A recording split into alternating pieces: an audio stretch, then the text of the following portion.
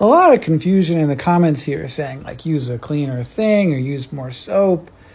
Ultimately, dishwasher is going to do a better job of sanitizing a dish because it gets hot in there.